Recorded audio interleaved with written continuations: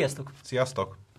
Ezt a videónkat a Cambium 802.11 AY szabványú új terméke hívta életre, de mielőtt még erről a termékről és erről a 802.11 AY-ról beszélnénk, nézzük meg az elődjét, a 11 AD szabványt.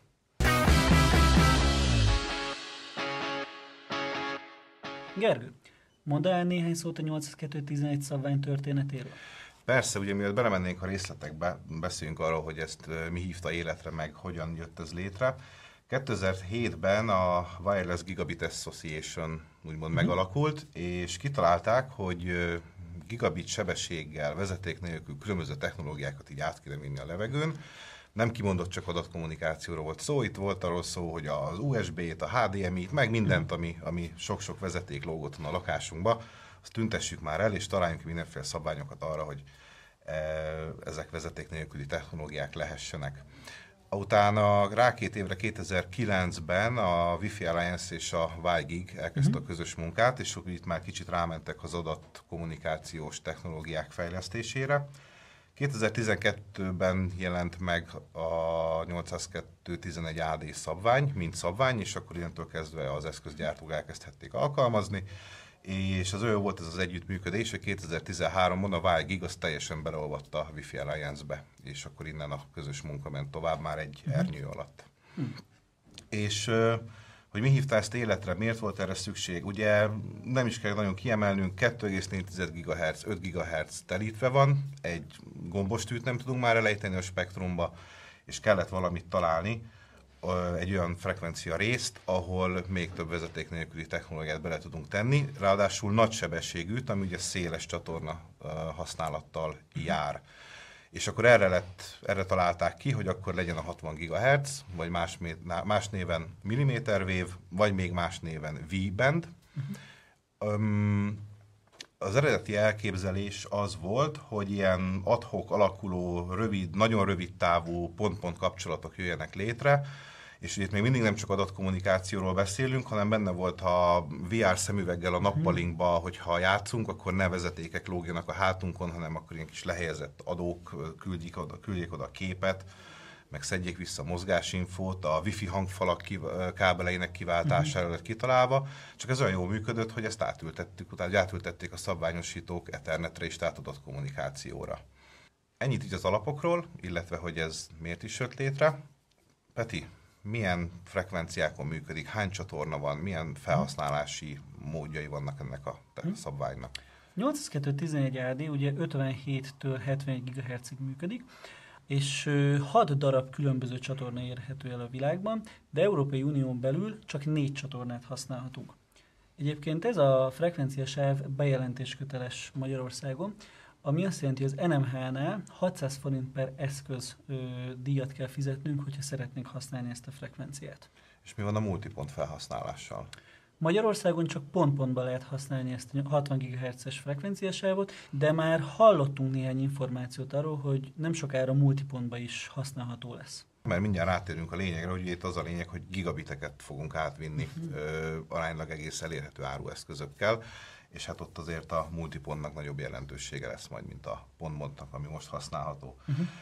Oké, okay, tehát akkor van 14 GHz-nyi spektrumunk, ugye mhm. ez több, sokkal, sokkal többszörösen, mint amit 5 gigán megszoktunk, de csak 6 csatorna van. Ebből következik, hogy akkor ilyen 2,16 GHz szélesség egy csatorna, uh-huh tehát kvázi úgymond erőből van megoldva itt a nagy adatátvitel, mert hát széles spektrumon azért elég sok adatot át lehet vinni. Igen, és, igazából alacsony modulációt használunk ezen a tehát robosztus tud lenni. Uh-huh. Akkor beszéljünk pont egyből a, a 60 GHz-es sáv előnyeiről, meg hátrányairól. Kezdjük a hátrányaival. Ugye kell hozzá a rálátás. Az Tehát itt már nincs az, hogy a fa teteje fölött átmegy a link, meg néhány falevél belelóg, itt mindenképp szükség van a rálátásra. Az esőcsillapítás ugye egy sokkal nagyobb, mint a megszokott frekvenciákon, és hogy miért kell nekünk ez a, a pontos rálátás, ugye az oxigén elnyelődés itt a mhm. hatalmas, úgymond nehezítő tényező ezen a 60 GHz-es tartományba. Peti, mondj egy pár szót erről a oxigén témáról, hogy ez miért is probléma nekünk? Mhm. Hát az oxigén abszorváció az lényegében a 60 GHz-es frekvencia tartomány megrezegteti az oxigén molekulákat, és ezáltal energiát közöl az oxigén molekulákkal, tehát ez energia elvész. Pont 60 GHz-en van az oxigénnek a rezonancia frekvencia, és itt elég nagy csillapítása van. Attól függ, melyik csatornákat használjuk, akár 9 decibel, decibel per kilométeres csillapítása is lehet az alacsonyabb csillapítási tartományban, ha pedig ö, egyes csatornát használjuk, akkor akár 15 decibel per kilométeres csillapításunk is lehet. Akkor ez úgy alakul, hogy a alsóbb csatornák 1 2-es 3-as a nagyobb csillapítás, uh-huh. ez a 15 dB per kilométer, és ettől fölfelé a 9 dB per kilométer, és minél magasabb csatorna számra megyünk, annál kisebb lesz a csillapítás. És akkor valószínűleg ezzel magyarázható, hogy a Európai Unióban miért engedik az 1-től 4-es csatornát használni, mert ez egy ilyen, hát mondjuk mostoha tartománynak, és senki másnak nem kellett, és Bizony. akkor neztek itt van, használjátok. És az 5-ös 6-os csatorna, ami a szabvány része, de már majdnem úgy működik, mint az e rádiók, hisz az ott már fellóg a 70 GHz-nek az aljába. Apropó, mi az e-band? Akkor beszélünk egy percet róla? Hát az e az a 70 per 80 GHz-es duplex rádiók uh-huh. használ, által használt tartomány, ez pedig ugye a V-band, ahol a uh-huh. mostaniról beszélünk. Tehát ugye az 5-ös 6-os csatorna már szinte fellóg a V-bandre, és olyan átviteli paramétereket lehet csinálni ezeken a csatornákon, mint a 80 GHz-es rádiókkal. Majdnem, nem pontosan, majdnem. Hm. Ezek akkor a hátrányok, de hát akkor nézzük az előnyeit. Illetve van még egy hátránya, bocsánatot kérek, ugye ez egy nem licenszelt tartomány, kvázi nem kell engedélyeztetni, terveztetni. Ez miért hátrány? Boldog-boldogtalan vehet ilyen eszközöket és pakolhatja föl, az se biztos, hogy be fogja jelenteni, de lehet, hogy bejelenti, kvázi úgy működik, mint az 5 gigás tartomány. Viszont zavarás tekintetében ezek ö, nagy problémát okoznak? Messzire elmész a 60 GHz? Nem, és hogy pont ezzel kanyarodhatunk át az előnyeire, hiszen ugye az a lényeg, hogy ugye itt van ez a nagy oxigén elnyelés, ezért uh-huh. nincsenek melléknyalábok a 60 GHz-es tartományban illetve a kisugárzott energiánk az nagyon hamar elhal, ezért sokkal kisebb interferenciát tudunk okozni mind magunknak, mind más konkurens eszközöknek és szintén előnye az, hogy nem licenszelt, ez hátrány is, meg előny is, hiszen ugye ingyen van a frekvencia, ha úgy vesszük, leszállítjuk ezt a kis bejelentési kötelezettséget. Előnye, hogy könnyen fókuszálható, ugye minél magasabb frekvencián dolgozunk, annál kisebb méretben tudunk antenna elemeket, irányító elemeket építeni, tehát pici eszközökről tudunk beszélni a 60 GHz-es tartományban, illetve reflektálható, ez szintén a magas frekvencia miatt, tehát azt mondtuk, hogy kell a line of sight, tehát a rálátás, viszont ilyen RF tükrökkel tudunk visszaverődésből linkeket uh-huh. építeni, kvázi ki tudunk kerülni egy épületet, hogy ha útban lenne. Kanyar wifi. Kanyar wifi. Uh-huh. Vissza kicsit az oxigén elnyelődéses történethez, ugye azt mondtuk, hogy nagyon hamar elhal a kisugárzott energia, ezért ugye csak rövid távú linkekről beszélünk. Tehát itt mhm. pár száz méter, esetleg maximum száz méteres linkek, ezt eszközgyártó válogatja. Tehát 60 GHz az ilyen 6-7-8-10 kilométeres linkeket hmm. sajnos el kell felejtenünk, mert a levegő megeszi az energiánkat. Milyen modulációs sémák érhetőek el itt a 60 GHz-es termékkínálatban? 8211 AD-nál ugye a single carrier és az OFDM sémák érhetők el.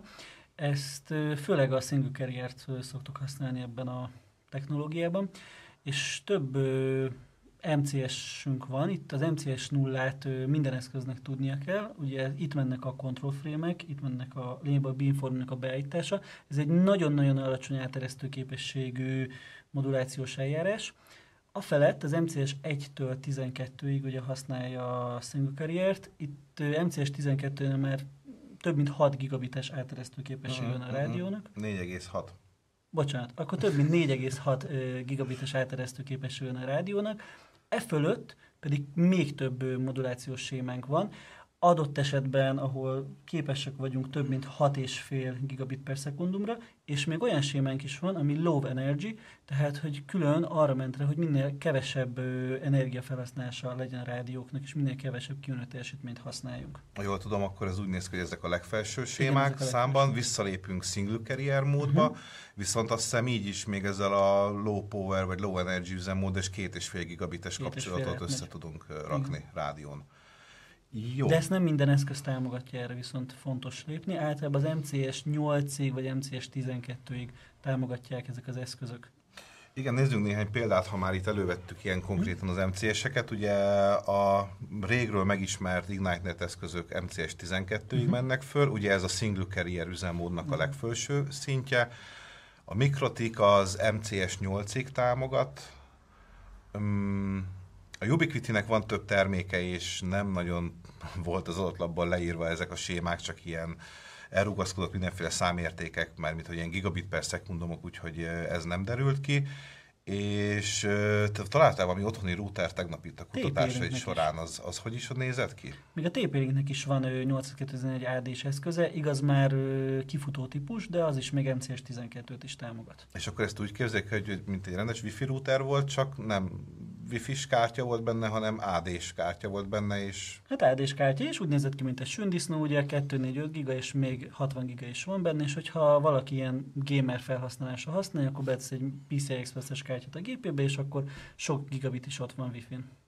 Hm, ez érdekes. Arubának is van, uh-huh. ugye ezt próbálgattuk is egy kicsit, csak még nem volt akkor annyira kiforrott, bár azóta sok idő eltelt, és uh-huh. lehet, hogy sokkal jobb. Ugye az MCS 9-et tudott uh-huh. maximum, és akkor ott vannak még a Cambium Networksnek ugye a termékei, amiket nem fogunk ebben a videóban tárgyalni, mert az majd az AY szabványos videónkban lesz benne, hisz azok AY-os termékek lesznek. Amik ugye egy fejlettebb szabvány. Um, beamforming kalibráció, elhangzott az előbb, akkor beszéljünk arról egy kicsit. Ugye Beamforming benne van a szabványba, nem kötelezően kell az eszközöknek támogatni, de azért, de azért erősen ajánlott, hiszen nagyon kicsi antenna nyílásszögekkel dolgozunk, hogy minél koncentráltabb legyen a kisugárzott energia a nagy oxigén elnyelés miatt. Kicsi nyílásszögű antennát pedig ugye manuálisan elég nehéz lenne beállítani, viszont nagyon jó, benne van a szabványban a beamforming, eszközök kompatibilisek tudnak lenni másik eszközökkel, és szépen mi csak fölcsorozzuk az eszközöket, ha már ilyen kültérjekről beszélünk, és ők szoftveresen kvázi utána állítják magukat automatikusan. Ez a nyílt tér, és ugye zárt térben is ennek hatalmas nagy előnye van, mert ugye még mindig arról is beszélünk, hogy ez beltérben is van létjogosultsága a 60 GHz-es technológiáknak, hogyha van két aktív eszközünk, amely között található egy fél fal, akkor értelmszerűen ott majd verődésből lesz majd csak meg a kapcsolat, és hát ugye, ha körbe-körbe tudunk sugározni, és meg tudjuk keresni, hogy melyik az a szög, ahol pont rálátunk verődésből az ellenoldalra, akkor ez nagyon hasznos tud lenni, és nem a téglafalon kell átmennie a elektromágneses hullámoknak. Peti, beamforming, hogyan megy ennek a kalibrációja, hogyan találnak egymásra a különböző eszközök? Nézzük meg, hogy ha csak az adó támogatja a beamformingot és a kliens oldalon, akkor hogy működik. Az adónak ugye több antenna karakterisztikája van, az összes ilyen nyalában kiad egy megadott jelet, ezt a vevő veszi. És visszaszól a vevő az adónak, hogy melyik nyalá volt a legjobb, és ezen túl azt fogja használni az adó a kommunikációra, mint az adásra, mint a vételnél. Hogyha a vevő is tudja a beamformingot, akkor értelmszerűen a vevő is végigjátsza ugyanezeket, hogy melyik antenna karakterisztika, melyik nyalában érzékeli jobban a megadott jelet, és azon túl azon fog kommunikálni. Beállnak a megadott irányra, és ezt fogják használni végig a kommunikáció során, egész addig, amíg meg nem szakad a kapcsolat. Egy kis érdekesség még itt a végére. Van egy nagyon hasonló szabvány, az AD szabvány, az a 802.11 AJ. Itt igazából megfogták az egész AD szabványt úgy, ahogy van, lemásolták, a csatorna szélességet egy picit kisebbre vették, és ami a trükk benne, hogy 45 GHz-re átültették az egészet. Ebből mi itt Európában sokat nem fogunk észlelni, ez távol-keleti országokban használható frekvenciatartomány. Ez kis fun fact itt a végére. Ez volt a 802.11 AD szabvány bemutató videója. Következő alkalommal megismerkedhetünk ezekkel az eszközökkel, amik támogatják ezt a szabványt. Ne felejtsetek el feliratkozni a csatornánkra, és lájkolni minket. Jövő héten újra találkozunk. Sziasztok! Sziasztok!